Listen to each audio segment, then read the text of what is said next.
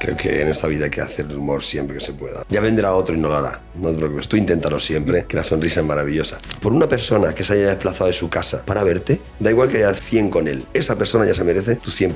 Subo y lo doy todo delante de 800 o de 8. El éxito te llega. Mm. Te llega porque te ha de llegar. Porque, porque has hecho una, una trayectoria que sin buscarlo al final aparecen oportunidades. Mm. O sea, hay que estar en el momento apropiado y aprovecharlo. No, yo, a mí dices hace cuatro años que yo voy a estar en Gran Vía, digo, de, de copa sí, pero para otra cosa no.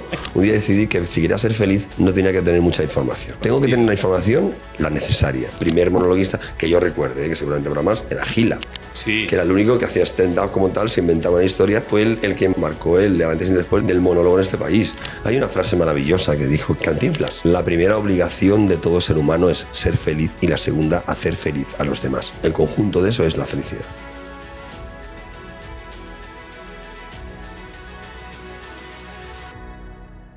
O sea que ya habías venido por aquí. O sea, ya habías estado más veces aquí. Conocía la zona, conocía la zona, pero por otras circunstancias. Has actuado aquí, pero de otra manera, ¿no? sí, no, no, no, pero sí actúa en Fuenlabrada. En Sí. la zona sur hay suele haber sitios en los cuales se... Ahora quizá hay menos, o por lo menos me entero menos, ¿no? De los sitios que se actúa. Pero hubo un momento en el cual sí la zona de Leganés, Fuenlabrada, Parla, sí era bastante activa a nivel de restaurantes y locales. Quizás sea igual ahora, ¿eh? Pero que a lo mejor no tengo ahora mismo ya ese contacto y siguen haciendo, pero yo no me entero. Sí que estuve hace poco en Parla, se llama, no me acuerdo bien el lugar, algo de la Pepa. Buen lugar, buenos sitios. Aquí suele haber buenos sitios, en la zona sur hay buenos sitios de, de Sí. monólogos, sí, sí, sí. Sí, sí, por aquí, cerca en el centro comercial, al lado hay un teatro que se llama Nuria Esper. Ajá. Y bueno, fíjate, en pandemia, que todavía tenemos que ir a- con mascarilla, eh, el ayuntamiento hacía monólogos gratis. Bueno, monólogos y obras de teatro. Bueno, pues fuimos allí, wow, unas risas, tres tíos, cojonudos, bueno, ahora son famosos, no me acuerdo de los nombres porque soy Bueno. malísimo para los nombres. Pero a- al año o así estaba paseando por la chocita del loro y, y- y los dos que estaban ese fin de semana eran ellos y estaban como fijos. Ah, sí. O sea, que era como, joder, el ayuntamiento de, Fuenlabrada, ¿cómo se tira el rollo? O sea, nos da aquí... Sí, no, bueno, la Sociedad del Oro es, bueno, no porque esté yo allí, pero es un lugar maravilloso, o sea, es, para mí es de lo mejor, con Mm. diferencia, de Madrid y del, del panorama nacional de, de, de monologuistas. Y es una maravilla. De hecho, ahora voy para allá, o sea, que tengo a las ocho y media actuación. Aquí el día 2 de mayo, el día 2 de mayo, Comunidad de Madrid, el levantamiento de los franceses. Sí, que fue en Móstoles, ayer me lo dijeron. ¿Ah, lo dijo sí? una amiga que en Móstoles el martes, creo que es el martes 30, ¿Mm? eh, vengo con el coche por la noche y veo fuegos artificiales. Y como esto está pegado a Móstoles, digo, pero esto es la altura de Móstoles y ya no sé si es Móstoles o más para allá. Sí, no, porque aquí está todo pegado. Y, y una amiga que es de Móstoles me dijo, no, no, es que eh, en Móstoles es, es una fiesta de las principales del año porque fue en Móstoles cuando se, levan- se levantaron contra los franceses. ¿Ah, sí? Sí, o sea, yo me enteré Yo ayer. tampoco lo sabía. tío. ayer. Y dije, "Oye, yo me imaginaba cuando veo el cuadro, eh, que a lo mejor, yo qué sé, en mi cabeza fue el sol. ¿Por qué? Porque, yo qué sé, Madrid, yo sabía que era Madrid, no la comunidad de Madrid, y digo, joder, pues sol le pega, ¿no? Para un levantamiento. Eso sí. Una pregunta, ¿debería escucharme? Sí, No, sí, sí, no me está escucho bien. nada. ¿No te escuchas? No. A ver, ah, vale. Espera. Ya estamos grabando, ¿eh? Toma. Ahora sí. Hombre, ¿dónde va a pues, me parar? olvidado. Ahora me escucho, mi voz tan desagradable. Y digo, qué bien, qué bien se escucha.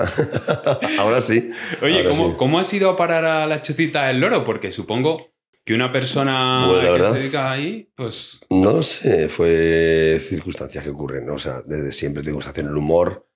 Creo que en esta vida hay que hacer el humor siempre que se pueda. O sea, es- ya vendrá otro y no lo hará. No te preocupes, tú inténtalo siempre, que la sonrisa es maravillosa. Y, y no sé, yo empecé, yo qué sé, me acuerdo siempre de cuando íbamos en el autobús, ¿no? Siempre era aquí, el típico, ¿quién cuenta chistes? No, pues yo. Yo contaba los chistes, y increíble. Y empecé, y bueno, pues a, a contar los chistes. Luego me dijeron, me acuerdo perfectamente en Torrejón de donde soy. Me acuerdo que una semana, creo que era como una, unos reyes, en Coslada había un lugar que hacía, era un buen lugar de, de comedia, ahora creo que ya no está, a Green. Y, y resulta que me dijeron, vamos a ver a un chaval que está allí, que, bueno, vamos a hacerlo con una amiga mía, que era un día de estos de, vamos a llamarlo de resaca mm, de resaca de Navidades. Y fuimos a ver allí. Me acuerdo perfectamente que era una, una especie de concurso y mi amigo, que fue mi amigo después y que lo sigue siendo, Richard Monfer, pues estaba allí. Yo no había- en mi vida había actuado ni planteado, por supuesto, hacer nada de ello. Me acuerdo que Eli, mi amiga, entonces terminó el concurso, nos encantó, dijimos, qué maravilla, cómo mola esto. Yo estaba haciendo mis pinitos, pero a nivel, veamos, absolutamente nada, porque justamente eh, me habían propuesto en un local de Torrejón hacer un monólogo, pero de media hora, que no fue un monólogo, fueron chistes enlazados sin más. O sea, todo enfocado a la Navidad, sin más. Bueno, Navidad no, al alcohol en Navidad. Era un poco toda esa vida, ¿no? O sea, en cómo se vive eh, totalmente ido. El caso es que, bueno, fuimos a este sitio y terminó ganando este Richard Monfer. Yo soy bastante cortado, que parezca mentira. Para eso, para eso, para otras cosas no, pero eso sí. Y mi amiga se acercó y dijo, pues este, mi amigo Molly, eh, hace monólogos. Y yo digo, yo no hago monólogos, yo no hago nada, o sea, yo no tengo ni idea de nada. Y me dijo Richard, sí, pues cuando quieras te vienes un rato conmigo y me presentas, que es lo que sueles hacer cuando no sabe, pues vas a presentar, hacer un minuto, un minuto. O sea, Sí. yo recuerdo, creo que el primer, la primera vez que actué ante público fue en Toledo, de verdad, fue Toledo, me fui con Richard Monfer a contar un chiste. O sea, ni siquiera monólogo, era un chiste para quitarme el miedo escénico. Me acuerdo de un sitio que había como 20 personas y para mí eran como 5.000. O sea, yo estaba cojonadísimo. Y conté un chiste, el chiste este del perro sin patas, que es un chiste muy, Cuéntalo, muy cuéntalo. El chiste, el chiste del perro sin patas, que es muy ya es viejito. Pero el chiste es un tío que coge el taxi, ¿no? Y coge un taxi y el taxista dice, eh, mira para atrás, ¿y dónde le llevo? Pues le dice la dirección. Y se fija que el hombre lleva un perro. El perro lo deja apoyado, lo deja realmente apoyado, el perro no sube, el perro, y se fija que el perro no tiene patas. Y dice, "Jo, hostia, un perro sin patas, tío. Oh, tengo que preguntarle a este señor qué le ha pasado al perro sin incomodarle. A ver cómo, cómo le puedo yo entrar para que me cuente cómo tiene un perro sin patas, joder. Y dice, bueno, bueno, bueno, mirando por el espejo, bueno, bueno, ¿qué tal? Bien, bien, bien. Bueno, ¿qué tal? Pues, pues, vengo de cena, muy bien. Qué bonito el perro. Ah, sí, sí, el perro es muy bonito. Dice, ah, qué guay, qué bonito. Y la verdad es que me gustan mucho los perros. ¿Cómo se llama el perro? Y dice, pues la verdad es que no le he puesto nombre, porque le voy a llamar y no va a venir. O sea que era un chiste malísimo, pero, pero que antiquísimo, pero me hizo mucha gracia. Y me fui a Toledo, a 80 kilómetros de mi casa, a contarlo. A contarlo. Subí, lo conté y me bajé con toda la vergüenza del mundo. La gente se rió y dije, bueno, he empezado. Sí. Y a partir de ahí empecé a, a hacer ya, eh, pues un poco enlazar chistes y ya empecé a escribir yo. Mm. Empecé a escribir yo. Empecé a escribir un poco, tal, tal, tal, pero claro, tampoco tienes eh, ni, ni la, ni la estructura, ni la, ni la forma de escribir, ni nada. Tú estás, pues, no sabes, escribes sin más. Y un día vi una- un, un- un curso de stand-up. Dije, hostia. Encima stand-up, que suena americano, tío. Esto, sí. No sé qué será stand-up, pero Bueno, tiene que molar. Claro, Sí, en la, en la cuna de los monologuistas. Stand-up, evidentemente stand-up. Yo digo que no hago stand-up, yo hago moving up, ¿vale? Porque tú me has visto actuar y yo me Sí, muevo más. No parar de Yo, mover. yo no hago stand, yo hago moving. O sea que yo acabo de reventado. Aparte de los viajes en el pecho que me pego, yo cuando termino de actuar tengo que estirar porque me dan tirones. o sea por todo, porque me muevo mucho y por la edad también. El caso que... Nah, estás hecho un chaval. El caso que, el caso es que fui, me acuerdo que fui a hacer ese curso. Lo hice con Carlos Ramos, uno de los mejores cómicos de este país y uno de los grandísimos improvisadores que hay, que es una maravilla, un crack. Y fui. Y fueron como tres meses solamente. Y ahí ya fue cuando tuve la conciencia de que esto era divertidísimo, de que podía valer un poco para esto, de que podía escribir, sobre todo escribir, que era lo mío, ¿no? ya no contar chistes, que lo sigo contando porque me parece que son la cuna de la- del humor. Aquí la gente que dice, no, es que no se puede contar chistes. Sí, lo que hay que hacer es divertir, Mm. ¿vale? Evidentemente, en un monólogo, pues es tu texto, ¿no? Pero no pasa nada por un día en la calle contar un chiste o subir un día y decir, esto es un chiste, y lo cuentas, sabiendo que es un chiste, porque lo, lo que no puedes hacer es meterlo como si fuera tuyo, ¿no? Porque Mm. entonces, si alguien se lo sabe, es como que, mm, Sí. no, no te va a comprar, lógicamente, porque no es algo tuyo.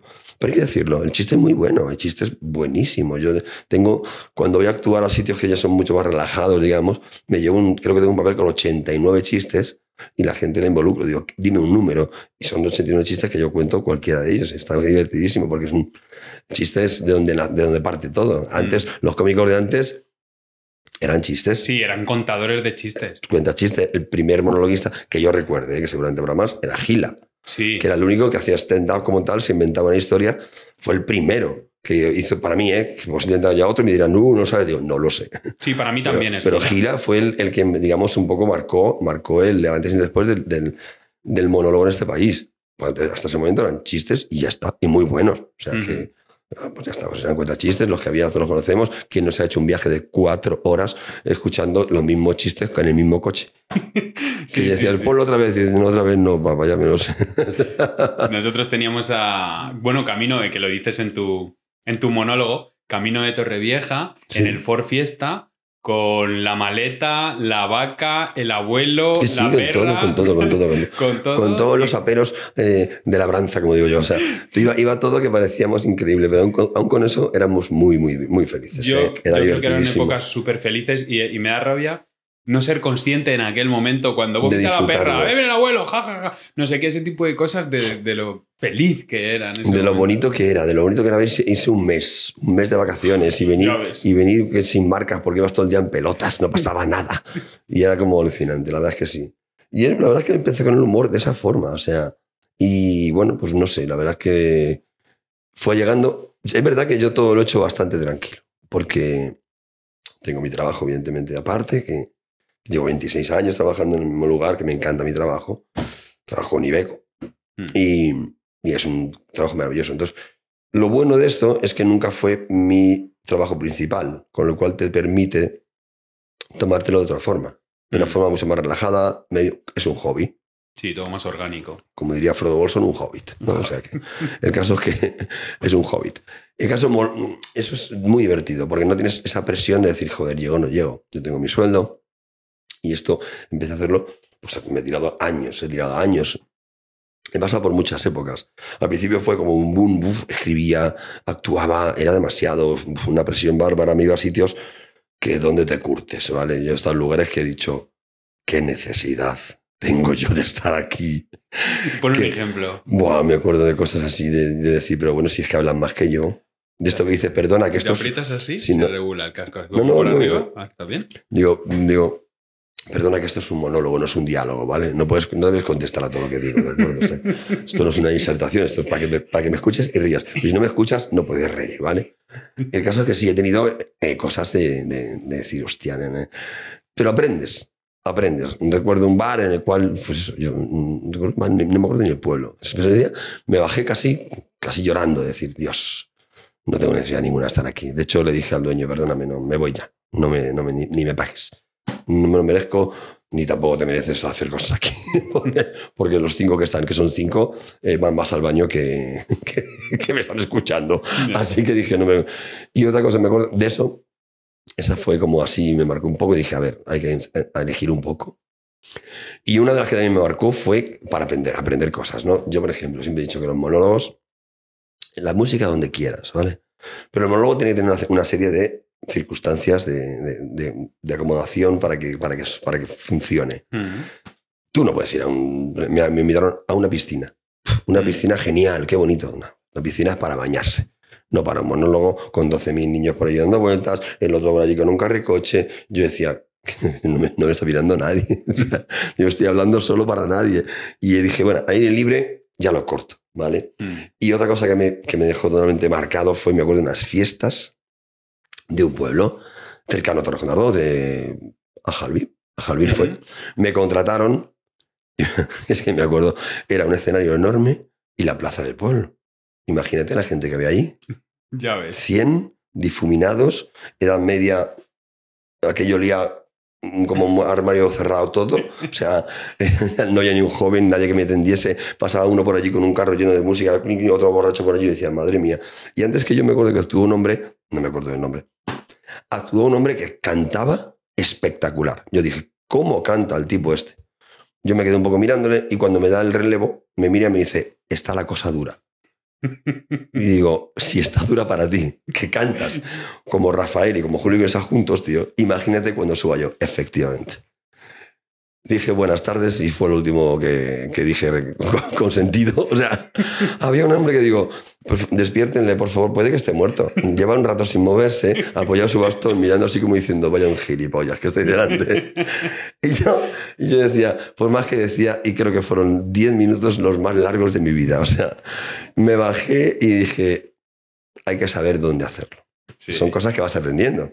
Lo de las tablas no es más que eso, aprender dónde debes, dónde puedes y también salir de situaciones que hay veces que ha sido sitios que hay que remar. De estos que dices, hay que remar mucho, pero cuando lo sacas te sientes bien, te sientes bien, aunque estás agotado porque dices, madre mía. Entonces vas poco a poco. Vas haciendo callo, ¿no? Claro, vas haciendo callo, sobre todo vas eh, pues minimizando los lugares donde vas a ir, porque tampoco es tu trabajo. Si, fuera, si tuviera que vivir de ello, por supuesto que iría, voy a lo mío, tal. Bueno, está, pero en este caso tuve la fortuna, tuve la fortuna, así que nada. Y aquí estamos. Ahora seguiré la segunda parte de cómo llegué aquí. ¿Cuántos años llevas hasta llegar aquí, que ya estás como más acomodado, la chocita y tal? Uf, yo creo que empecé, empecé, yo diría que hace unos 12 años, 13 años fácilmente o más. Me acuerdo que una vez, son todo anécdotas, son todo cosas que, han, cosas que han ocurrido que me han llevado a estar aquí. Aquí, con él y a la chocita del oro, ¿vale? Eh, me, me, me, acuerdo que una vez yo intenté tocar la armónica. ¿Por qué? Pues no sé, porque no había que esforzarse mucho. Yo pensaba que era total tocar. Si habéis probado, eso es lo más complicado del mundo. Yo no, ¿Sí, sabía, que, yo no sabía que había 12 armónicas. Yo pensaba que había una y se acabó. Pues no, hay un montón. Tonos y semitonos. Bueno, el caso es que un amigo mío, un gran amigo mío, que es grandísimo armoniquista, creo que se dice así. Eh, me Quedaría dijo, mejor armonioso, ¿verdad? Oh, qué bonito. Eh, ¿A que sí? Queda como más romántico. Es verdad, sí. Eres armonioso. Mm. Así muy zen. Sí, es que claro, luego ves a los de New Orleans y no son armoniosos. No, no, esos son ya, pero esos ya tienen su swing y su Sí, rollado, sí, sí. y entonces fui, me acuerdo, fui a, a, a grabar con, con la armónica, uh -huh. con él, para aprender un poco. Llegó a su casa y tal. Al final todo derivó circunstancias que no toqué la armónica. Y de pronto dijeron, cuenta un chiste. Y conté un chiste. El primer chiste conté un poco y me dijeron, te vamos a grabar. Vale. Y entonces me dijeron, vamos a hacer un canal. Y hicimos un canal. Que ¿Un se canal llama, de YouTube. Sí, que se llama Canal Molina, que sigue existiendo. Ay, va, qué bueno. que lo dejé, Lo lo dejé. Ahí están como 20 algo chistes de cuando yo tenía um, más pelo. y empecé con Canal Molina, ya te digo que sigue existiendo, y hubo un momento que lo, que lo nutrí, cada semana subía un chiste. Mm. Llegué a tener hasta llamadas y hasta anuncios debajo, que eso quería decir que la gente lo veía. Sí, o sea, sí, se hablaba sí, de restaurantes, había un anuncio de un restaurante. Yo digo, uy, yo nunca supe si con eso se gana dinero o no. Nunca, nunca me llegó nada. Ah, No sé, no, no sé si se llega a ganar dinero o no. O a lo mejor tiene que tener millones, cosa que es imposible, ¿no? Y yo empecé a contar chistes. Y me iba, me acuerdo, a su casa. Él ensayaba allí, tenía la batería, y yo salía de una, de una cortina y sonaba como si hubiera gente y estábamos solos. O sea, estábamos él, Isa, su mujer y yo, los tres. Pero sonaba como que era un montón de gente viéndonos allí. Grababa el chiste y lo subía. Y llegué a tener, recuerdo, no sé, ponte que 8.000, 10.000 reproducciones. Eso está en, muy bien. en- en ¿eh? poco tiempo. Sí, sí, sí. ¿Qué ocurre? Que yo nunca he sido mucho de tecnología, lo reconozco. Entonces tenía mi trabajo, eh, mis viajes y no, no nutrí. Llegó un punto en el cual me quedé ahí colapsado y bueno, lo dejé pasar. Y de hecho hay gente todavía que me sigue diciendo, el otro día vinieron unos vecinos míos y les puse tu canal. Digo, pues si es que ya son bien. Pero son chistes, o sea, son, son chistes que se pueden aún escuchar, siguen siendo buenos. Siguen sin ofender, ¿no? Sí, yo siempre, no, mi, mi rollo es eh, no ofender, no sé por qué, pero no me, me, me gusta ofenderme a mí. Sí, una cuñita. ¿Qué, qué opinas tú? Porque a mí me parece muy arriesgado del humor cuando haces participar al público. Como hay otros monologuistas, Sí, que arri- es, es muy arriesgado, porque tú no conoces a la persona A con ver, la que eso vas. es una, eso es una maravilla. O sea, es una maravilla. A mí me Los encanta, Los, que hacen es eso, los que hacen eso, yo te digo, yo lo, tampoco lo he intentado, pero no va en mí. O sea, yo, cada uno tiene, cuando empiezas a estudiar eh, y, a, y a actuar, tú te tienes que dar cuenta de una cosa, que es tu actitud, ¿no? Tienes que conocerte a ti mismo para hacer el papel que tienes que hacer en el escenario, porque no puedes ser uno- una persona que no eres, ¿no? Mm. Entonces, yo es que no valgo. Yo es que no valgo. Yo lo veo y digo, yo no valgo. Yo no tengo esa capacidad de impro y esa capacidad de meterme, de meterme, que es verdad que dices tú, que yo he visto alguno, que, pero no todo será perfecto. Que No. alguna vez alguien se habrá mosqueado, digo yo. Claro, yo supongo que a Instagram y redes eh, solo salen las cosas que van bien. Sí, no, ¿No? o las que van mal también, pero, pero me refiero que, que es verdad que, que es una hora y pico, yo, yo los admiro, ¿eh? me parece un trabajo admirable que yo no tengo esa capacidad. Mm. Yo soy texto, yo soy estudio, digamos, estudio. Yo escribo, escribo, escribo, escribo, escribo, escribo mucho, mucho, mucho.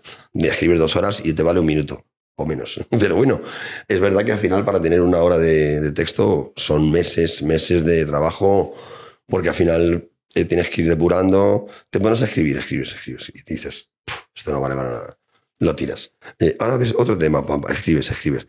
Entonces, bueno, vas probando, vas probando, pero para conseguir un texto de una hora y diez, por ejemplo, que yo tengo una chocita, hay un trabajo enorme, enorme detrás, enorme, enorme, enorme. Soy una de la gente que es verdad que una de las cosas que nadie sabe, pues, igual que cuando un profesor da una docencia, no el profe no sale y sabe lo de historia, se lo ha de Claro, preparar. Se lo prepara Como antes. cualquier persona, como tú en tu trabajo informático, tendrás que saber, no, no, no, sobre todo informático, creo que es, un trabajo maravilloso y muy complicado, porque como avanza todos los días, nunca deja de Sí. estudiar. Te tienes que actualizar mucho, sí. Claro, es un, totalmente un refresh, refresh. Porque al fin y al cabo, el humor, vale, puedes coger todo lo que pasa en el día a día, pero también puedes coger algo que pasó. Pero no, informática yo veo y digo, madre mía, si es que lo que no, lo que no vale hoy, mañana vale, y esto ya se ha quedado obsoleto. Pero también Si pasa yo, con si yo tengo humor, ¿eh? un- un Windows 7 de esos, y el otro día lo encendí y dije, ¿dónde está el, la, pa- la manivela para arrancar esto? Sí pasa, pero bueno, ya sabes que yo te comenté, ¿no? Que intenté escribir monólogos. sí, Y- eso venía a preguntarte, ¿qué tal? Es verdad, o sea, es que, eh, yo soy el gracioso del grupo. No, eso, eso siempre lo digo. Entonces, con el gracioso, el gracioso del grupo, que yo era un enfermo en los monólogos, iba a ver a, sobre todo, JJ Vaquero, Leo Sí, Harlem y mi top, cracks. que es eh, Goyo Jiménez, porque tiene un humor que es el mío. Sí, O sea, no, no, no me gusta decir humor inteligente, humor negro, humor tal, porque catalogar el humor, porque Mm. ¿quién, ¿quién creó lo del humor inteligente? El concepto. Me No, parece. pues, cada es un- uno, es cada un uno, poco está está- claro. Y, y bueno, y entonces hacía reír mucho a la gente repitiendo cosas de monólogos. Ya era gracioso de antes. Vale.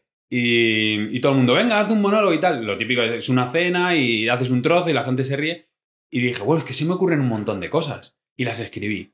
Y, y las probé con mis amigos, con algunos, tal, pues es bueno, tal. Era bueno hasta que fui a probar en serio, así con ya más gente, así con, pero con ah, un grupo tal. Dije, oye, mira, voy a- vamos a probar esto. Pierdes todo el flow. Perdía todo el flow y la naturalidad. Es- no eso es sabía. una- esa es una de las cosas más complicadas. O sea, yo igual, o sea, hasta que consigues ser tú arriba, que yo ya considero que ya soy yo arriba. De hecho, mis, mis conocidos, mis amigos que han visto toda la vida, siguen, no paran de alucinar diciendo, es que ahora mismo no te conozco. No te conozco de lo, de lo que esto es lo que es lo que tú hacías en el autobús. Claro. Era lo que hacías en el autobús, que venías con tres cervezas o diez. Y, y entonces eras tú, ¿vale? Hmm. Ahora subo sin ningún cerveza, por supuesto, cero cerveza, pero ahora sí he conseguido ser yo. Y eso es una cosa muy complicada. Muy complicada. La actitud, una cosa que te enseñan siempre cuando estudias el humor, es la actitud que tú vas a tener para contar tu monólogo. Mm. Eso es muy importante. Vas a estar enfurecido, vas a estar eh, cabreado, asustado, no sé. Una actitud y desde ese punto ya empiezas a ser. Pero la, la- la buena es que realmente seas tú. Sí. Entonces, yo, tú me has visto en el monólogo, mi, mi- mi- mi flow es que soy pues un cincuentañero que ha pasado por toda una vida, ¿no? Entonces, que todo me sorprende, que todo me gusta o no me gusta. Mm. Pero es una cosa desde el punto de vista de, de, de una, de una experiencia grande. Un chaval de 25 años que empieza, evidentemente, no puede hablar de lo que yo hablo porque no lo ha conocido. Mm. También te digo una cosa, yo no puedo, hablar, no puedo hablar de las redes sociales de ahora porque es que como no estoy, ahora llega un chaval y me dice no sé qué, hay unas palabras, lo de, como dicen los gamers, como, yo, me pierdo ahí, me pierdo. Bueno, Digo, digo bueno, eh, yo estuve hace nada, me, me comentaron el tema de. Espera, a ver si te lo digo bien. Así, por el culo. Oh, No, no sé si sabes lo que es. espérate, es que no he escuchado, creo, mm, por supuesto, no quiere decir lo que pensamos, pero sí que creo que dice algo. Es una palabra, ¿no? Claro, o sea, por el culo es. Me viene genial. O esto es estupendo. O sea, yo, yo qué sé. eh, tú imagínate, no sé, no lo he visto en contexto, ¿vale? Y me lo han explicado en el trabajo 20 veces, pero no lo pillo bien. Pero bueno, más o menos puede ser como.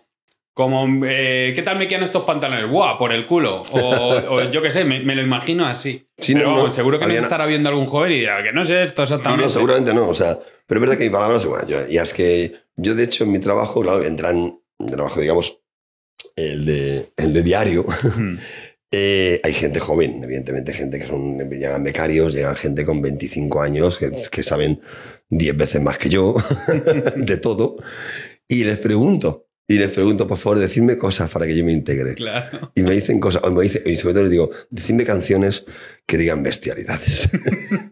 y es que hay algunas canciones que dices, no, no puede ser que esté diciendo esto el tío este. Las, las letras del reggaetón, por lo visto. Eso, o sea, a eso, me, tampoco, o sea, a eso me digo, refiero. Yo les digo, venga, y me dicen algunas cosas que digo, ¿en serio? ¿Y esto lo bailáis? ¿Se puede bailar? es alucinante, pero. No he visto bailar reggaetón, ¿eh? O sea, como no Es salgo que- por discotecas así es ahora. que ya no- la verdad es que no sé si se baila. claro. Sí, bueno, es lo del twerking, ¿no? No, no, no. Sí, pero eso va muy rápido, ¿no? Cuando hacen twerking va más rápido de la música, que es un- la música es más pum, pa, chum, pa, pum, ¿sabes? Es como más Sí, sí, sí. cabezona. Y el twerking va Cabezona sí que es, sí, ha puesto el reggaetón. Si es que ya el nombre es reggaetón. Hostias, es que da como aspecto de brutos. Vamos a bailar reggaetón, mi hermano. Reggaetón mami. moto mami, moto mami. Bueno, pero te he interrumpido porque No. Esto venía sobre todo por. eh, estabas contando desde que empezaste a contar chistes. El Sí. canal de YouTube. Claro, canal de YouTube, que ya te digo que tuve bastante éxito, sí, tenía muchas reproducciones, pero lo dejé ahí, pues cosas inconsistente que soy. Y lo dejé. Y hubo un momento en mi vida que como que pasé un poco, ¿vale? Me acuerdo que estuve más metido, fui a algún concurso, ahí no me gustó el rollo, y dije, ¿para qué? ¿Para qué luchar contra compañeros, compañeras? No tiene sentido, ¿no? No le encontraba el sentido ninguno a ir a un como a, pff, me- aparte que por un premio, pff, que yo tengo mi trabajo, había gente que le hace falta más un premio porque su trabajo era, digamos, este o no tiene ninguno. Hmm. Entonces no me gustó demasiado el rollo, lo dejé ahí.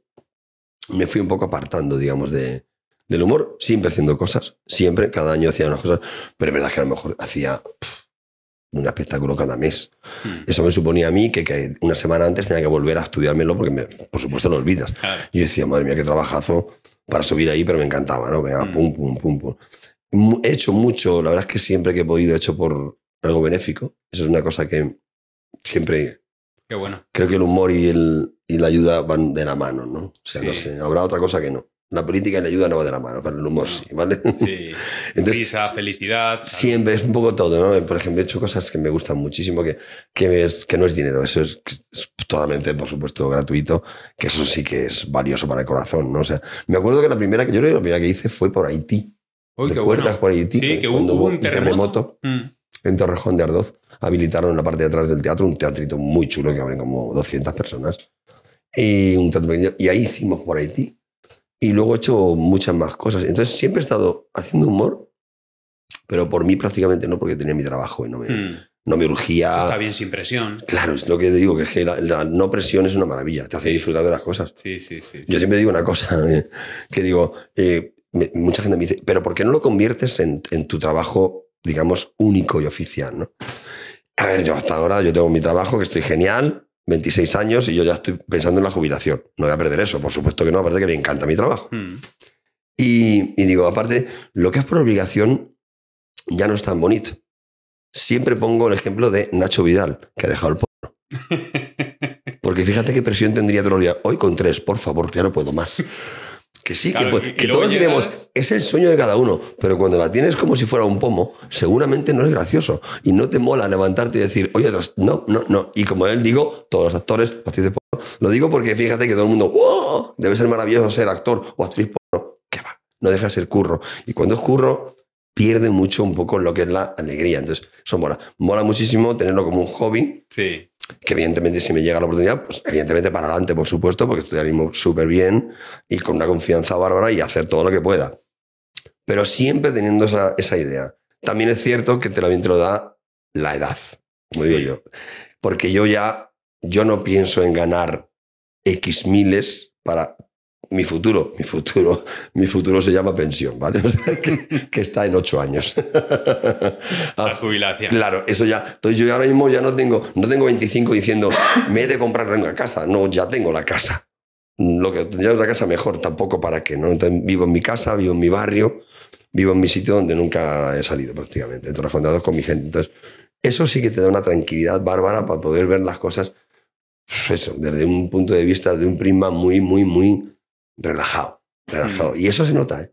Se nota Sí. cuando no tienes presión, cuando lo haces por diversión, aunque, la- aunque la- cuando yo subo al escenario la presión es bárbara, tengo, yo tengo mis, tú me viste ahí, yo tengo mis, eh, mis rutinas, tengo que escribir primero el texto, aunque parezca mentira, ya, ya actúo mil veces con el texto, siempre media hora antes tengo que repasarlo mentalmente y, y en papel hacer un esquema como cuando estudiaba Mm. y eso me da la confianza, aunque, aunque, aunque lo haya hecho ayer, pero es como un TikTok. Sí, sí, sí, sí, sí. No, y, y que mola eh, ser perfeccionista. Yo creo que ponerse nervioso. O sea, yo, por ejemplo, bueno, ya sabes, to- toco en una batucada, ¿no? Entre Sí, sí, cosas. sí, sí. Eh, ¡Con mi primo! pues en las, en las actuaciones importantes, yo no sé cuánto tiempo llevo, llevo 12 años a lo mejor, eh, me sigo poniendo nervioso. Sí, sí, y sigo repasando. Y no quiero perder eso, que eso sale solo. Pero creo que es porque me importa lo suficiente. Hmm. Es una cosa que dicen siempre que si subes con nervios es que te importa, ¿no? Mm, Y es verdad. Si subes relajado, yo creo que es porque ya has perdido un poco el interés. Hmm. Yo cada día, pero da igual que haya 8, que 80, que 800 personas.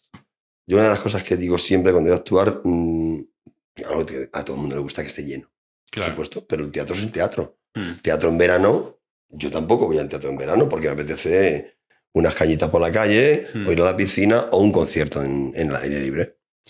Da igual, por una persona que se haya desplazado de su casa para verte, da igual que haya 100, 100 con él, esa persona ya se merece tu 100% o tu 120%.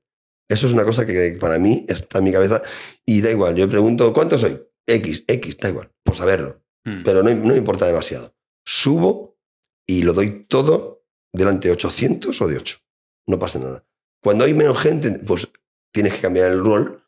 Dices, lo voy a hacer mucho más personal.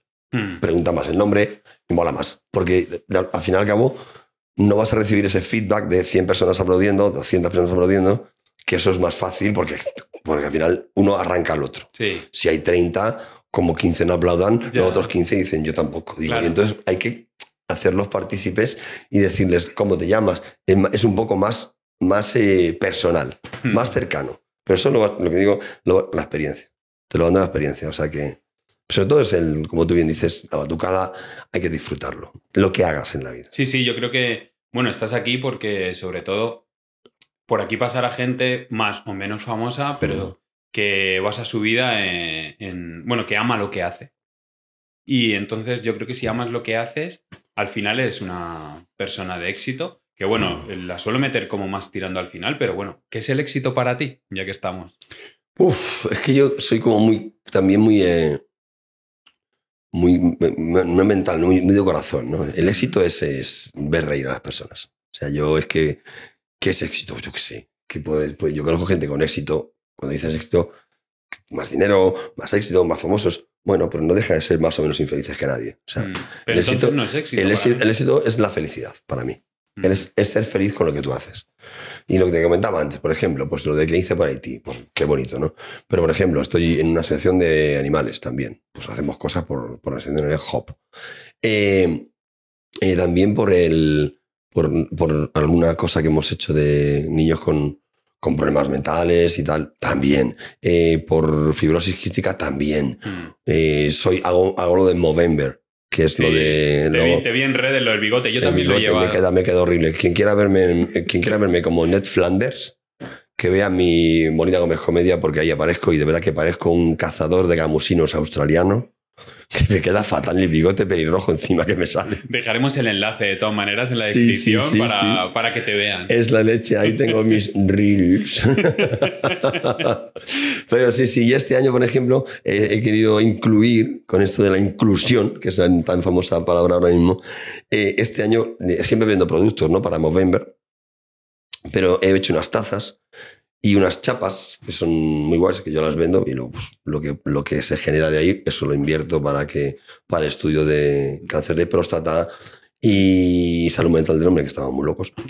Ya te digo. Pero este año también he dado la mitad de lo de las chapas también para el cáncer de mama. Qué guay. Porque creo que son dos de los cánceres que dentro de la maldad que son cada cáncer, son los únicos que todavía puedes tratar un poco con un poco de gracia, porque suelen ser preventivos, Sí, se puede siguen, siendo, siguen siendo dañinos, por supuesto, puede, haber, puede llegar lo peor, Hmm. pero no suele ser, no, no, no ocurre como, como cánceres Sí. o como tan importantes que dices, es que si lo tienes, no. adiós. Es una de las cosas que, por ejemplo, mira, para pasar mi vida, un momento en el cual paré. paré. tuve parón. eh, mi madre falleció muy pronto, de cáncer de páncreas, justamente. De hecho, intenté hablar con el cáncer de páncreas, pero no están por la labor. Mm, Es verdad que, es, tan, es, tan, es tan dañino que dice, mira, danos dinero, pero de risas pocas, porque no tenemos ganas de reír. Y tiene razón, ¿vale? Mm.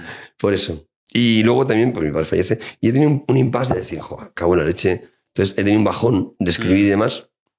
¿Qué pasó? De hecho, yo eh, empecé a actuar de nuevo y tal, y mi padre, la verdad es que me encantó porque mi padre estaba súper orgulloso. Me veía y decía, mira, mira ese es mi chico, qué gilipollas. dice tonterías y la gente se ríe. Si la dice siempre, el tonto la va.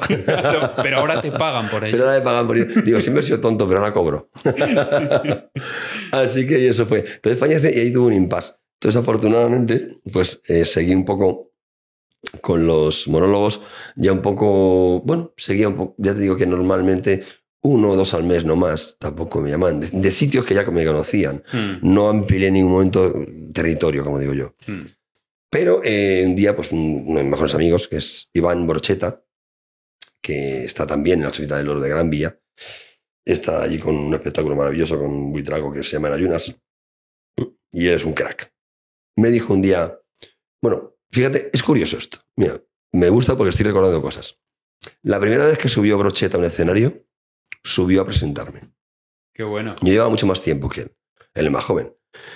Él eh, es admirable, porque encima tiene un problema en la pierna, que el tío todos los días tiene la pierna jodida, todos los días. ¿eh? Todos los días de su vida le duele algo y se levanta con, gran, con ganas de hacer reír más que nadie. O sea, por eso. Y él sí que es impro, hay que verle porque él es más impro. ¿eh? Yo soy muy suave porque yo, como no tengo, pero él, como, como a él le duele, aquí vamos a andeñar. Entonces, fue muy curioso. La primera vez que él subió a un escenario fue a presentarme, totalmente nervioso y tal. Bueno, pasó el tiempo y a los dos, tres años él estaba ya en la chocita y yo seguía en mis bolos normales. Hmm. Bueno, pues pasa el tiempo, seguimos siendo amigos, no sé qué, pa, pa, pa, pa, pa. Escribimos, tal, y un día me dice, ven a presentarme a la chocita. Con lo cual, lo- la curiosidad de la vida es que la primera vez que él subió a, a actuar fue a presentarme. Y la primera vez que yo estuve en la chocita fue a presentarle. Qué Entonces, bonito. que fue como cerrar un círculo, ¿no? Sí.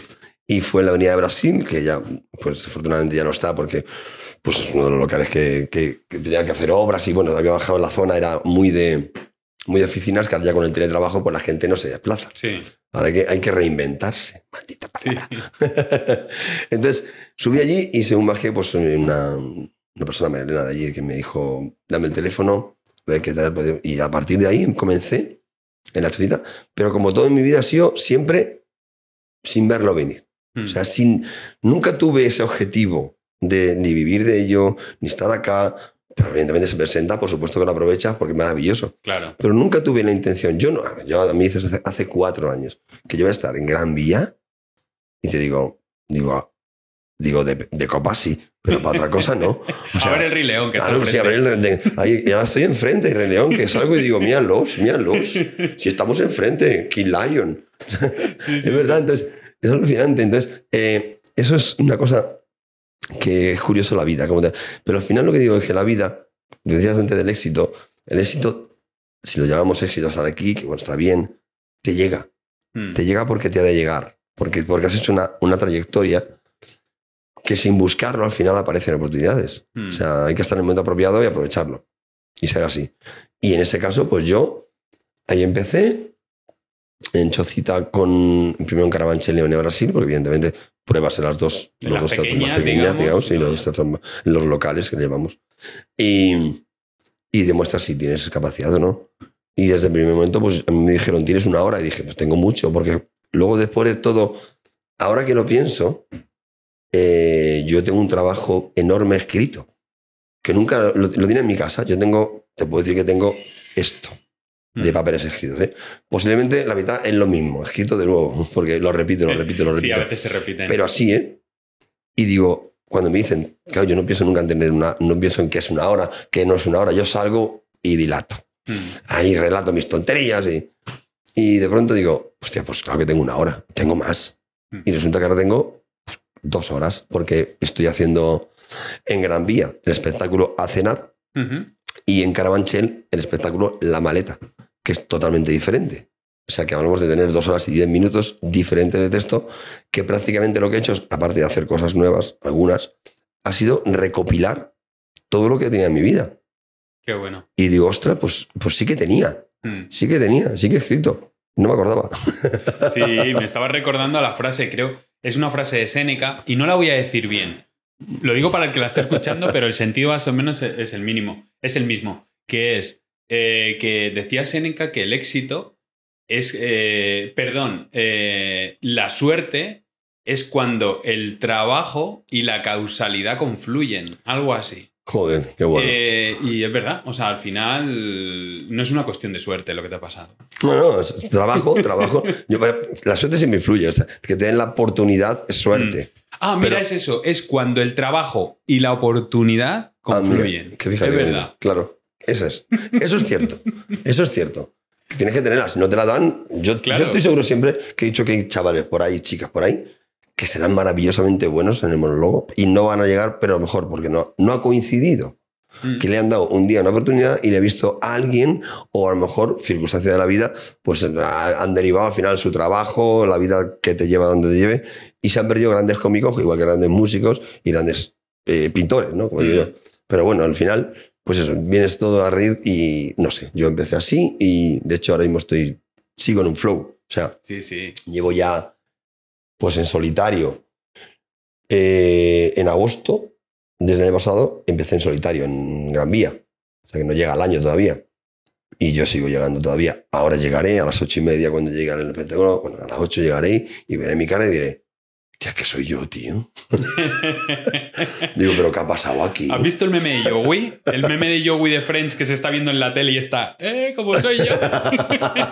No, no, pues es alucinante porque sigo pensando que y entrar allí y decir, wow, sobre todo el apreciar que la gente tiene ganas de reírse, que ahora mismo está jodida la cosa. Ahora mismo creo que es de los trabajos más difíciles del mundo hacer reír. Sí, yo creo que es más difícil hacer reír que llorar. No, hacer llorar es, es, es componer la tele. Claro, por eso. Yo, he estado- yo no, yo es verdad que gente dice, no hablas muchas cosas de la actualidad. Y es que yo decidí un día, un día decidí que si quería ser feliz no tenía que tener mucha información. Sí, Tengo que tener la información, la necesaria, que es la que, me, la que me rodea. Yo reconozco que es una putada lo que ocurre a mil kilómetros de aquí, pero ¿qué puedo hacer yo por ello? Protestar. ¿Pero qué puedo hacer? Lo que puedo hacer, ¿qué más? Es ayudar. ¿Y cómo ayudo? Pues haciendo un espectáculo. Y recaudando dinero, ah, también, ahora, con brocheta para Ucrania. Ujú. Hicimos ahí, regalamos más de 2.000 euros para Ucrania, para alimentos. Que aparte que dijimos, hay que hacerlo ya, porque el, el cerebro humano se acostumbra. Sí, es verdad. Y lo hicimos al principio de la guerra, de la invasión, llamémoslo, porque dijimos, esto en un año se va a, re- a regularizar. Sí, y va a ser algo Y siguen muy estando. normal. Ahora claro. ya está Palestina, y si pasa el tiempo, ya habrá otra cosa, Mm. y no deja de estar Ucrania, Sí, sí, y no sí. deja de estar Palestina, y no deja de estar las- todas las cosas que pasan en este mundo, pero es eh, como el cerebro va tapando cosas con cosas, Mm. y siempre te quedas con lo último, y tristemente ahora mismo lo que vende siempre es lo malo, Mm. pues yo veo la tele y digo, algo bueno tiene que haber pasado hoy. Pero no es, lo van a contar Es en la imposible que no haya pasado algo bueno, pero, pero, pero no vende. No vende. Es que yo he estado cuarto de hora y, y digo, es que me deprimo. O sea, digo, ¿en serio? ¿Así está el mundo? Y sí, sí, pero claro, habrá cosas muy bonitas. Alguien habrá salvado una orca en Australia, pero eso no vende. Pues claro que no. Seguro. Oye, ¿cómo es tu proceso creativo? Que dice que tienes muchas cosas. eh, ¿Tienes algún ritual? ¿Tienes algo? Eh, yo, me, yo me pongo a... Hay gente que, por ejemplo, compañeros míos, compañeras, eh, que tienen su rutina diaria. Yo no la tengo. Yo reconozco que soy un poco, en ese aspecto, anárquico. O sea, yo voy pensando cosas. ¿Vale? Este es mi, este es mi, mi rollo. Y te la cuento. Y, digo, y veo la reacción. Digo, va bien la cosa. Entonces voy y la cuento por allá. Estoy- voy, o sea, el mundo son conejillos de India para mí. Sí, claro, Sí, claro. Todos mis amigos, por eso muchos dicen, si es que me lo sé, digo, claro, porque lo he probado contigo. Sí. he probado la mitad de texto contigo. Entonces, vas probando cosas que se me ocurren. Se me ocurren cosas cada día, ¿no? Y ya, es verdad que cuando tu cabeza está preparada para hacer humor, de cada cosa se le puede sacar humor. De hecho, eh, una de las máximas del humor, el humor es dolor y verdad. Eso es lo que aprendes siempre. Dolor y verdad. No te ríes de lo bueno. Lo que hablamos del cerebro humano. El, el- el- el ser humano es jodido.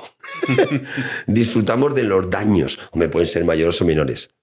Pero yo no me río de algo que me ha tocado la lotería.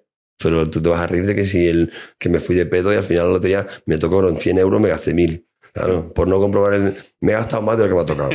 Aquí eso es lo gracioso. No te alegras de, de- Cuando te digo, me ha tocado la lotería, no dices qué bien, qué guay, no, dices. Bueno, te alegras, Sí, pero sí. no te ríes a carcajadas. Claro, te alegras por ti, pero, pero cuando dices, pues no me jodas, que, que luego mire, el eso ha ocurrido en la lotería, no, en la quiniela. Gente que ha tocado el 14 y se ha gastado un fiestón y, era- y luego había 5.000 en España y se ha gastado más que lo que ha ganado. Sí. Es muy gracioso.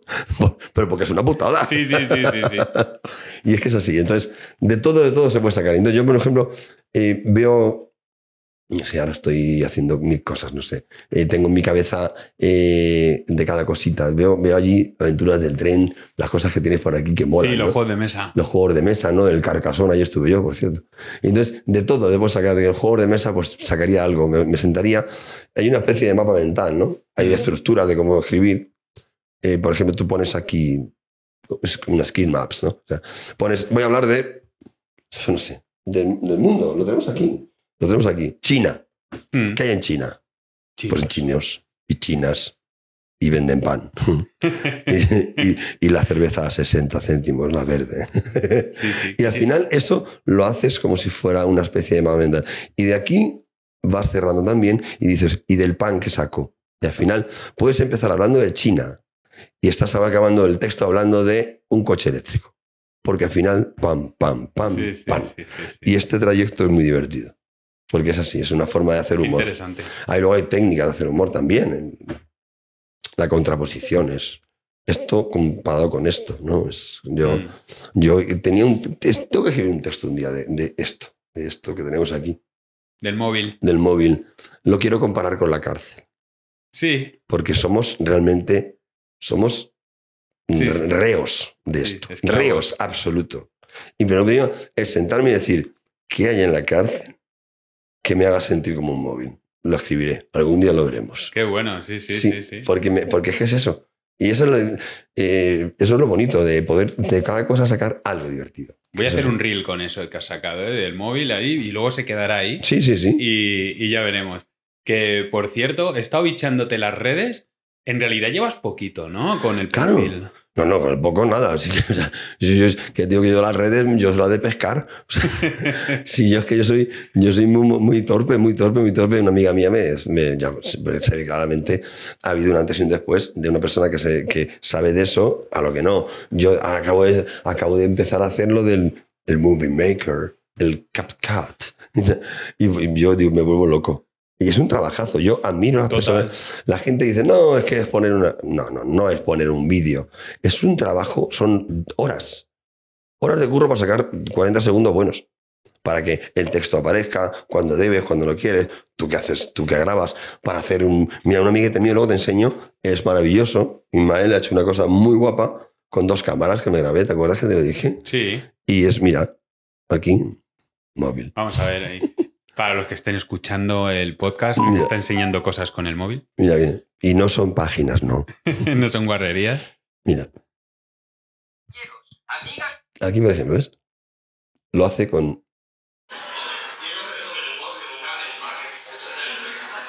con dos tomas. No Sí, ya. claro, es como estamos tú y yo. Claro. Sí, sí, sí. es sí, genial. sí. Pues es un trabajazo para hacer ese montaje. que eso. Esto no está pagado. No está pagado. Mira cómo mola. Oye, espérate, me acabo. Es que me estoy mirando como no veo bien. Parezco la princesa Leia. Sí, estás ahí, está- estamos, estamos ahí con las paelleras, ahí con las ensaimadas. Parezco la dama de Elche, pero venía menos. pero como voy de blanco, parece que va a aparecer Lucas Skywalker por aquí. Bueno, pero le vas a, ya estás dando, ya está más en serio en redes. Sí, o sea, ya sí, sí. estás Sí, porque aparte ahora mismo eh, también es otra cárcel. De hecho, el- ayer me dijeron una, frase que me gustó bastante, la tiranía de las redes. Mm, Y es que ahora mismo estás obligado. Si no, no te conoce nadie. ya. Yo creo, aparte que las redes también, pero lo, lo hablaba con un compañero, yo a mí me gustan los vídeos, me gustan las redes, pero con un control. Porque al final eh, se está perdiendo para mí ¿eh? el, el teatro físicamente. Si ya puedo ver el teatro en- en- en un móvil, Mm, ya no me desplazo. Ya. Eh, Es así. Es- y esto es una cosa que me, me- me entristece un poco porque la gente cada vez se va menos a los sitios.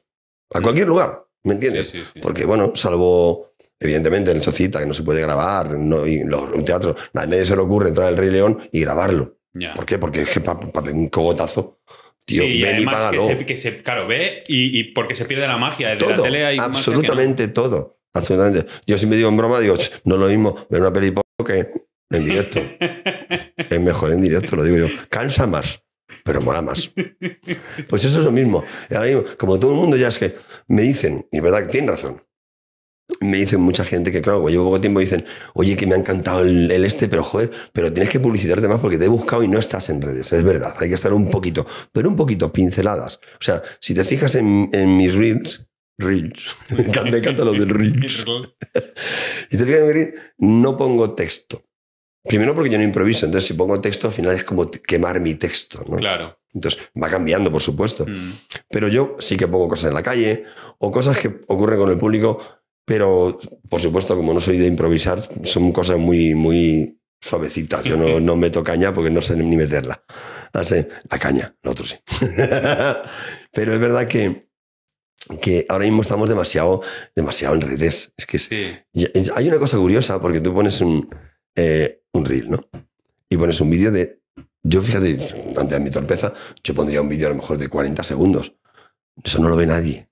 Nada más que tú. Ah, sí, porque es demasiado largo. Demasiado largo. ¿Qué dice? Buah. Te pones a mirar, porque claro, esto ya lo, ya lo tienes controlado. Te, te das una cuenta, no sé qué, y pones ver insights, ¿vale? Gente que ha estado. Y te dice todo. Te dice las reproducciones, te dice las repeticiones y te dice el tiempo medio de visualización.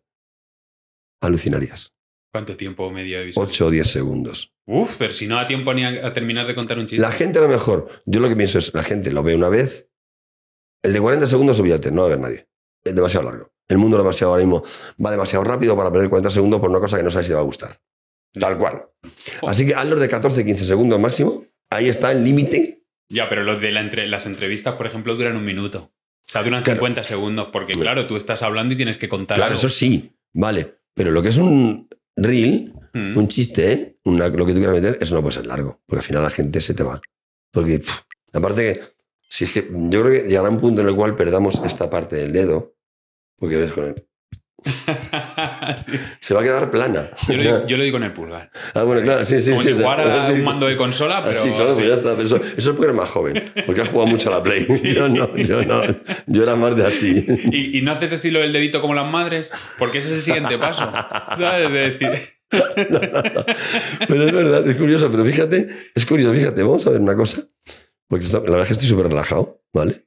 Gracias, tío, gracias, de verdad. Súper divertido, súper bien, aquí muy bien, ¿eh? Por cierto, mira qué regalazo. Mira qué regalazo. Cómo mola la taza. Es alucinante. Risas y chocolate. La verdad es que es maravilloso el, el- el nombre, como he explicado antes, y la imagen es brutal. La imagen ¿De- mola ¿De dónde la mucho. sacaste, tío? Pues eh, con una IA jugando a las imágenes, Una IA. tal, sí, quiero ¿Qué, una imagen. espera, espera, ¿qué es una Una IA? con inteligencia artificial. ¿Ves? Si es que estoy fuera. Si es que se me- a mí me sobrepasan estas cosas. Sí, sí, lo de, lo de la- en Terminator 2, la que se cabrea y hace que se acabe el mundo porque toma el control, pues igual, Sí, pero ¿no? para, para hacer Vale. Pero mira, la verdad es que es maravillosa. Me encanta, de verdad. Es un regalazo que me llevo. Un placer. El regalazo es que estés aquí. Y nada, de verdad es que es eso. Pero mira, te voy a enseñar esto para que veas un poco lo que es un poco para las redes, para, para la gente que quiera ver redes, que sepa que este es el rollo, que no, si no, no llegas a ningún lado. A ver, eh, por ejemplo, este, mira, mira, yo mira, hago así, me- y me- la mirada, la mirada a 100 metros, como los viejos ya. sí, dentro de nada con un palo selfie. Claro, sí, mm, para mirar bien Sí, de sí. lejos. Así es como veo. El caso que veo cualquiera de los, de los estos que tengo, mira, por ejemplo, este, que es este el último. Very Insights, ¿vale? Pues este, por ejemplo, tiene, no, esta es lo, he puesto- lo he puesto hoy, Mm. 928 reproducciones, un montón de me gustas, cuentas alcanzadas 493, ta, ta, ta, ta, ta, ta. tiempo medio de reproducción y el vídeo el, duro- el vídeo dura 20 segundos, ¿eh? Mm. 10 segundos. 10 segundos, ¿eh? La mitad, ¿eh? 10 segundos. O sea, han llegado al chiste. Está por encima. Porque los segundos ya, vale, pero han llegado al chiste. No, a ver, lo que pasa es que ciertamente aquí esto te contabiliza el que lo ha visto con el que ha pasado así. Claro. Ya. si son 20 por uno, al final Sí, se te sí, quedan sí, sí. 21. Pero bueno, que esto es lo que hay. No, no, está que muy como bien. haga, esto está muy bien me lo, como me lo estudio. descargaré yo. Está muy bien. Te lo, te lo- luego te lo hablamos de. Porque yo no lo hice, me lo hizo alguien. te dice nuevos seguidores, te dice las veces que se ha compartido, lo que, las veces que se ha guardado, todo. O sea, está muy bien, pero, pero también está muy mal porque te das cuenta de que el mundo va demasiado rápido. Sí. De que no nos paramos a, a pensar y a hablar. Y a hablar. Yo, por Sí. ejemplo, sigo todavía. Yo, esto de los WhatsApp, yo sigo llamando, como los viejos. Mm. Y, bueno, y si tuviera fijo, mejor todavía. Un góndola de esos. Yo también, aunque tengo el fijo de adorno. Yo creo que el fijo lo tengo solo para cuando me llame mi madre. O sea, a mi madre le dije, me voy a quitar el fijo, pues total, es un euro más. Y digo, pero si Sí. es que no lo uso. Y dijo, ay, hijo, y, y si te quedas sin batería en el móvil yo te Sí. tengo que llamar. Y dije, venga, vale, por ti me gasto un euro al mes. Yo te puedo decir que el fijo lo tengo por una cosa que es una cosa que también haré un monologuito. Te diré por qué. ¿Por qué? Para buscar mi móvil. Porque no te ha ocurrido, a mí me ocurre muchos Sí. sábados.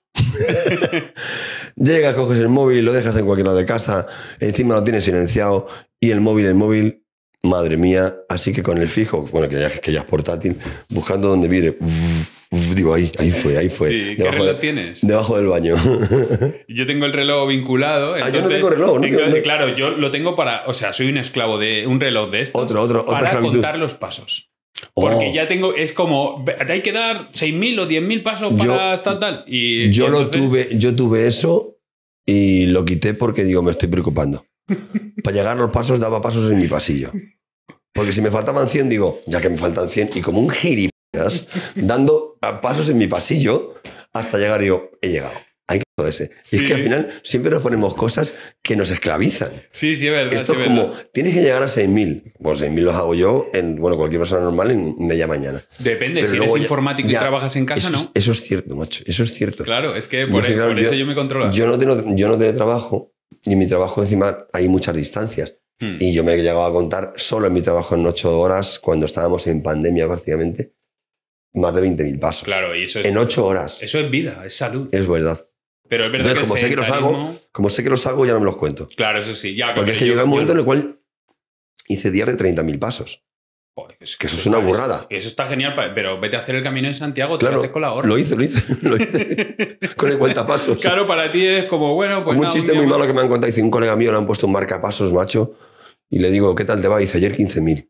Digo, digo, digo, no, hombre, no, no, no, no, no para eso. no- Le han, y le han puesto, le han puesto un marcapasos con una pila, una pila, tío, que me acerqué y me cargó el móvil. Impresionante, o sea, No, no, entonces, estamos, eh, hacemos cosas por, por eso. Mm. Entonces, de hecho, mi trabajo en Ibeco, cuentas, y me parece que un paso está, está estipulado como que es 0,675, ¿vale? Un paso normal de persona humana. Entonces, si calculas eso por todos los pasos, ahí me salían días de 14, 15 kilómetros. Que sí, que sí. Digo que me he hecho, medio, me he hecho una etapa en Santiago. Sí, sí, sí, por eso. Digo, encima con zapatos de seguridad, cuidado, que no vas con la mochilita, que llevo zapatos de seguridad, que esos son de los que Esos pesan. pesan más, esos pesan pesan más. Así que la verdad es que así estamos. Y nada, y bueno, por seguir un poco ya, pues llegué a Gran Vía. Llegué a Gran Vía. Y recuerdo el primer día y fue como, wow, wow, esto es... eh, Como Broadway, ¿no? si no es que es el Broadway madrileño, o sea, realmente... sí, total, total. Eh, no sé, perdona, eh, yo creo que en Europa no puede haber más de 3-4 calles tan importantes a nivel espectáculo. no, ¿cómo se llama la de Londres? La de Londres es la de, se llama West End. Mm. West End. Y mira que lo digo, West End. Eso es porque estoy hablando así. Si lo dijera no diría West End. Pues- West End. Pero el West End eh, creo que será los Campos Elíseos, por decir una calle de París, por decir algo. Y no hay más calles a nivel Europa tan alucinantes como Gran Vía. Mm. Que es que es. Ahora cuando llegas y llegas de noche y sales del metro y dices, ¡Joder, qué, qué luz! A mí me- yo me quedo como los conejos con mis somatosis con la luz así. Qué alucinante, a mí me encanta, me encanta. La verdad es que disfruto muchísimo, muchísimo. Y de la vida, de la vida. A mí Madrid me, me gusta mucho. Me gusta, soy, soy urbanita. Ahora que está muy de moda lo del campo, sí, me gusta el campo, pero pa, toca y vete. Pues a mí me pasa con Madrid eso. O sea, me encantaría irme al campo, cada vez estoy más, cerca del campo, pero Madrid me gusta el, el poder decir, bueno, me cojo el metro, en media hora estoy allí, Claro. me encanta Madrid, alucino y me vuelvo. Claro, yo, yo ahora, fíjate, estás en Torre Condados, que son 25 kilómetros, pero al final no vas tanto. Ahora que evidentemente estoy obligado a ir, ahora es cuando estoy disfrutando aún más Madrid. Ahora, mm, si a- hoy por ejemplo, pues estoy aquí, estoy encantadísimo, pero si un día como que hace bueno dentro de medio mes, que era ya buenísimo, Sí. si actúo a las 8, me voy a las 4. Mm. Tengo una rutina que es comerme un bocata de calamares. ¿En el brillante? No, en, no, en Plaza Mayor. ¿No crees que están sobrevalorados los bocatas del Pues, brillante ahora? Cuando éramos Es que pequeños... los de Brillante, yo me acuerdo, ese es el que está en Atocha. Sí, sí, ¿cierto? Es que yo he ido poco, porque yo siempre me he ido a Plaza Mayor. Sí es verdad, también. sí es verdad que eh, están sobrevalorados y son más caros. Son más caros y ahora ya es como para turistas. Es, ci- Antes- es cierto que es más turismo ahora. Sin embargo, yo tenemos ahí en la Plaza Mayor, tenemos el- los... ¿Hay tres? Creo que está el Rúa, el- la Ideal y la Campana, creo que son. Sí, yo, no me, yo me lo sé Y por yo- localización, no Sí. por el nombre. Y yo voy cambiando. y me encanta, como un turista más, coger mi bocata de calamares, mi lata de cerveza, pero en bolsa de marrón para que no se vea, ¿vale? Porque si no te multan. Como, lo- como los mendigos de Estados Sí, Unidos. igual que, igual que un homeless, pero con calamares.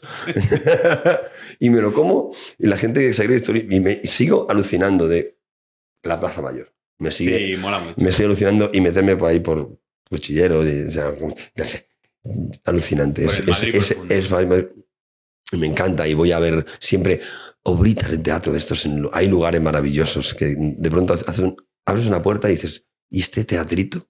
¿Qué hace aquí? Es alucinante. ¿Has visto la- las obras estas que hay? Bueno, el otro día, bueno, otro día, yo te puedo hablar del otro día y puede ser hace dos años, ¿no? Pero entre dos años y hoy, Sí, más o menos. más o menos. pues eh, fui con, a una obra de teatro. Era, era algo como muy disruptivo y tal. Y de repente nos quedamos en un bar y estamos en la puerta de un bar y yo creía que era en un bar. Me dice, no, no, me han dicho que espere aquí en la puerta del bar. Viene una chica, nos recoge y nos lleva a un portal de al lado, a un piso. Y en el piso estaba vacío, una casa totalmente vacía, pero con cinta aislante eh, en determinados sitios de cada ca- en el salón, en la cocina y tal. Y en cada sitio eh, te decían, colócate ahí. Y ocurría algo. Bueno, tío, algo que podía parecer cutre, me encantó. No, no, no, Me encantó. Hay cosas maravillosas. Hay, hay, hay obras que dices, "Pues, es que son cosas. Microteatro, microteatro, por no se llama también, obras de 5 o 10 minutos. Hmm. Hay tantas cosas, pero en la, en la calle misma, en la calle misma Madrid es, un- es una maravilla. El rastro.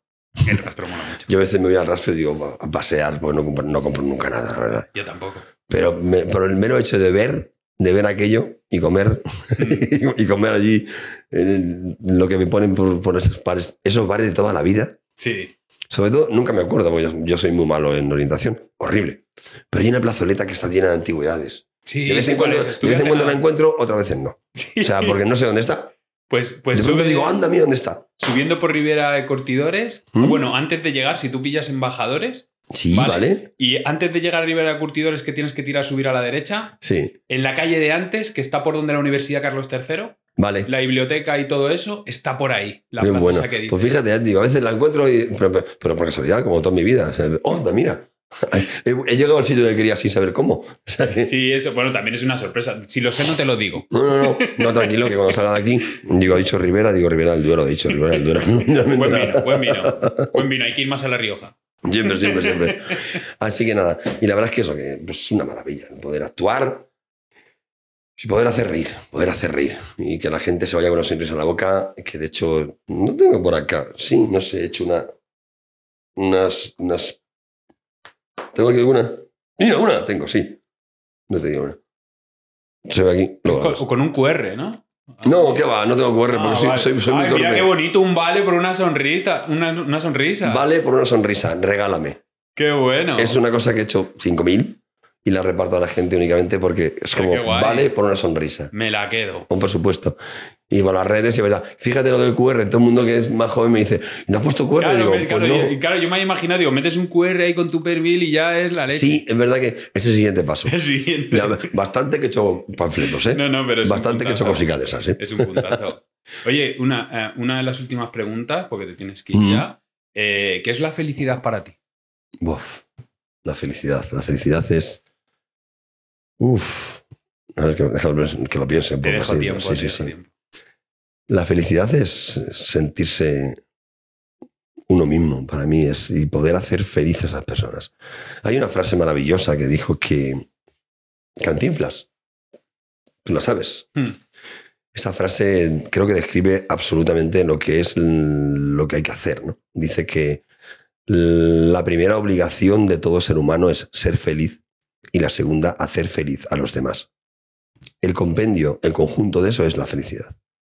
Tienes que serlo y hacer que la gente lo, lo sea.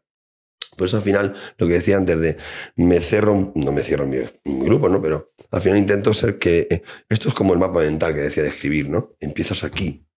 Si todo el mundo hiciera lo mismo, todo el mundo podría hacer felices a cinco o seis personas. Mm. No podemos hacer felices a un millón, no seamos incautos. No podemos cambiar el mundo, no, eso es cuando tienes 15 años que vas a cambiar el mundo y el mundo te cambia a ti, a base de ni a base de, de cosas buenas y cosas malas. Pero bueno, al final lo mejor es intentar que tu grupo, lo, lo que tienes cercano, hacer lo que sea feliz. Porque esa persona, si es feliz, también podrá ser feliz. Y es un movimiento mundial. Nadie puede ser. Por eso a mí esos salvadores, eh, sobre todo los políticos que me caen todos muy mal, la verdad. Yo vengo a... No, tú vienes a lo que vienes, tío. O sea, no, no, no. Porque, primero porque no vas a poder. Porque el mundo está como está y una persona sola no puede cambiar el devenir. Por lo menos creo. De momento. creo de, at the moment, ya te ¿no? digo que. Esperemos que. Esperemos que llegue un momento que haya uno bueno. Pero, pero es cierto que lo mejor es estos momentos, esto, el que vea este podcast, que sepa que es tío crack, que es la leche, y que, y que sea feliz, ya está, que te levantes por la mañana y que cada día que te levantes por la mañana digas, joder, qué bien, que estoy vivo, estoy vivo, y que puedo hacer una cosa maravillosa, que la vida es tan maravillosa que te da la oportunidad de cambiar cada día y de elegir tu camino cada día. Hoy te levantas y dices, no me gusta esto. Llevo un tiempo sumido en esto y no quiero. Cambio. Puede que no lo hagas, pero puedes intentarlo, que eso es importantísimo. Sí. Intentar cambiar y ser feliz. Al final la palabra es, la felicidad es muy, Sí, muy amplia. muy grande, muy grande, ¿no? Pero sobre todo para mí es que yo esté bien para poder hacer estar bien a la gente. Porque bueno, mucha gente dice, no, es que aunque esté mal, yo que si estoy mal no tengo mucha ganas de hacer reír, la verdad. Las cosas como son. Que no soy Santa Teresa Calcuta, ¿vale? No, no, no, no, no, no, no. Que soy una persona humana como todo el mundo y que cada persona que se levanta, si está bien en su vida, puede desprender felicidad. Si está jodido, le va a costar, le va a costar. Por eso hay que ayudar a esas personas. Hay que hacer que la gente sea feliz. Si tú ya lo eres, es como el que tiene, el que tiene dinero. Ya tienes, ¿no? ¿Para qué quieres más, tío? Es verdad. Sí, sí, sí. ¿Tienes para los- ¿Cubres tus necesidades? Sí. Perfectamente, sí. Yo, a mí me ponen con cuatro paredes. Yo no quiero ocho paredes, quiero cuatro, ya las tengo. Me puedo, podría decir, me puedo cambiar de piso y pues, ya- como están ahora, ahora están bien de precio, están muy baratos. que hoy he visto en el telediario. ¿Ves? ¿Para qué veo el telediario? Ya me he hundido. Del 2014 al 24 ha subido un 34% el valor de, un 34% el valor de los pisos. Y los sueldos me parece a mí que no, ¿no? Y un 3,4. Uy. Por 10. Imagínate, tío. Imaginaos, es que es, es imposible. Entonces, claro, eh, yo, ¿qué prefiero? Pues, ah, pues viajar. A mí me gusta mucho viajar. A mí viajar me hace feliz, por ejemplo. Es una, para mí es una de las cosas que me hace feliz, viajar. Coger, el hecho de coger un avión es como... No tienes eh, el- eso, los nervios, el nudito. Yo sí, yo, yo- yo, aparte de viajar a sitios que Claro, pueda... claro. O sea, que no conozco. que dices que no conozco Sitio nada. que no sé la conozco de nada. Uy, un nudito. O sea, es el, yo cada vez que hago un viaje grande y que me va a ser importante, Sí, sí. eh, si me dicen el día de antes te devuelvo el dinero de los nervios que tienes, a lo mejor digo. Overbooking. Bueno, vale, por mil euros sí. no, no, pero es verdad que eh, para mí es verdad, no he hecho eso. Viajar. Viajar es. Pero por sobre todo porque viajando la mente se abre. sí, total. Te das cuenta que no eres ni más ni menos, eres uno más. Hmm. Eso está muy bien. Cuando, cuando te meten en la cabeza, madre mía, cómo va el país, fíjate qué mal, fíjate, o qué bien, o qué bien. No. Ve, ve y disfruta. O te cuentan, tú no sabes lo bien que se vive, vamos a decir, Alemania. Bueno, pues vete a Alemania. Vete a Alemania, jubílate a los 67 de lo que es, porque encima se jubilan más tarde que nosotros, creo. A lo mejor me equivoco, ¿eh? Ahora ya estamos empatados. Sí, ahora sí. Pero que no tienen seguridad social, cuando no tienen muchas pensiones. Es que yo he estado hace poco en Alemania con alemanes y, y no todos, no es panacea, ¿eh? Mm. Nada es panacea. Estados Unidos, ¡uh! bueno, pues vete a vivir allí y ponte malo, sin un seguro de vida. Entonces, ¿qué hay que decir? ¿Que es mejorable todo? Sí. Pero que sobre todo hay que disfrutar de lo que tienes, no de lo que no tienes. Porque al final, si siempre deseas algo que no vas a tener, nunca serás feliz. Siempre serás infeliz. Es como el que llega aquí y dice, ya he llegado aquí, ahora aquí, ahora aquí. Entonces, es una vida entera deseando llegar a otro sitio, en vez de decir, estoy donde quiero. Mm. Y eso ahora mismo, yo, ahora mismo en mi caso, es donde estoy. Donde quiero, en mi trabajo, a nivel, a nivel, en donde quiero, donde estoy en un lugar maravilloso como es la Chocita del Loro, haciendo de reír a, a las personas y, y está, y siendo, intentando ser buena persona. Mm. Con eso vale. Yo creo que, como decía, no sé, Con, no hace falta ser bueno. Con no ser cabrón, vale, va bien la cosa. No hace- mira, yo no soy un misionero, pero no soy un cabrón. Entonces, si nadie hiciera daño, como digo yo, si nadie robase, no haría falta policías. Porque no tendríamos problemas de robos, ¿verdad? Pero, pero más que hay gente que roba y hay que tener otro. Bueno, lo de buena persona lo has conseguido, ¿eh? así que buen trabajo. Pues muchas, muchas gracias, de verdad. Un placer, amigo, de verdad. Gracias, gracias por estar aquí, por, por, por permitirme estar aquí. Sí, que muchas he- he gracias a ti alucinado. por venir. He alucinado y bueno, y, y seguimos en contacto. La verdad es que bueno, estamos ahí. Y bueno, seguidle, porque de verdad es que merece la pena. Risas y Chocolate Podcast, que me parece una cosa maravillosa. Y aparte que tengo dos focos aquí que yo, como soy muy torpe, estoy flipando. es que me miran así como parecen dos extraterrestres. o sea, Sí, sí, te, están- te están observando. Aquí con mi princesa Leia. Pues eso, muchas gracias por estar aquí. Un placer enorme y bueno, para el que esté escuchando esto, de verdad, solo sé una cosa y es que seáis felices, porque creo que es un momento que tenemos que aprovechar en la vida y que no seamos tan, tan, mala, tan mala sangre, que es más bonito ser bueno, ser felices y reír mucho en la vida, que es maravilloso. Un aplauso para mi compañero y por el podcast. Gracias.